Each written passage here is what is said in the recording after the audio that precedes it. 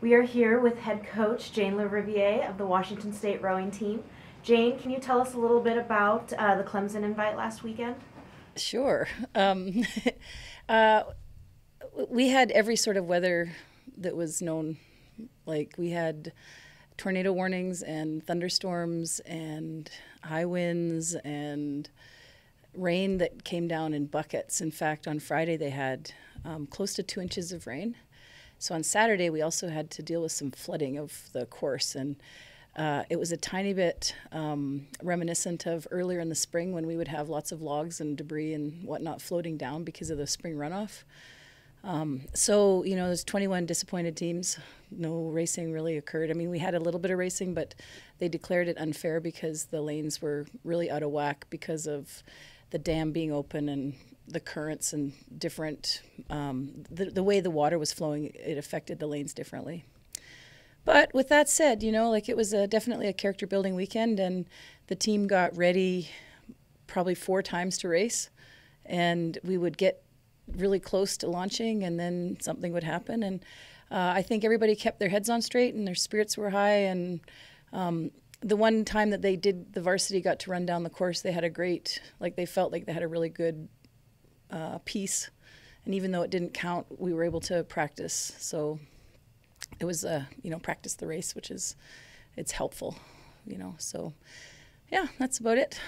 Absolutely. And with the season wrapping up, how are you guys preparing for the last regular season regatta against Gonzaga?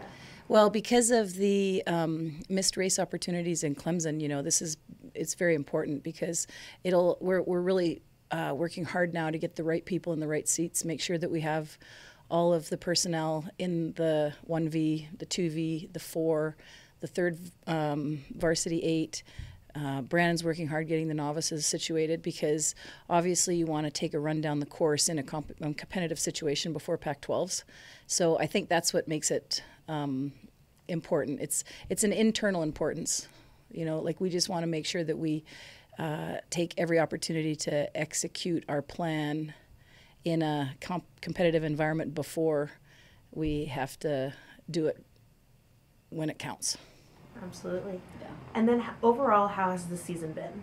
Well, the team has been fantastic. I mean, it is, it's been something. You know, like there's weather. I think all over the United States, a lot of different uh, rowing programs have had many, many different challenges, and I'd I'd, ha- I'd hazard a guess that we've all including you know lots of my peer coaches at the different institutions. It's been a wild weather year.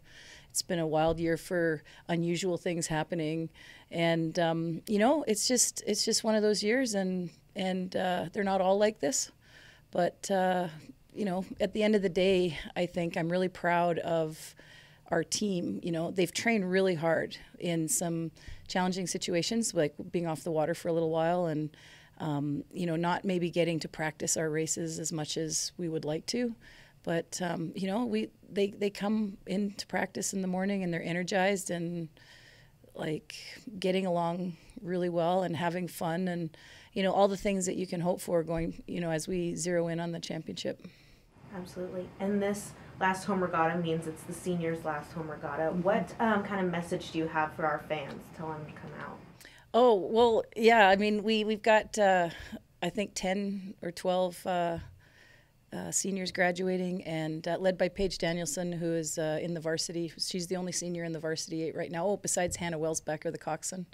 Um, you know, and then we have all of our other seniors that will be uh, racing at home for the last time. But um, you know, obviously we have Pac-12s in three weeks, and um, but it'd be nice to have some support, and we will get uh, race times and days out as soon as possible. Like at this point, we're still scheduled for probably a little bit earlier on Saturday, but there is an outside chance that we move it to Sunday based on what the wind is doing. Absolutely. All right. Well, thank you, Jane. All right. Thanks. Go Cougs.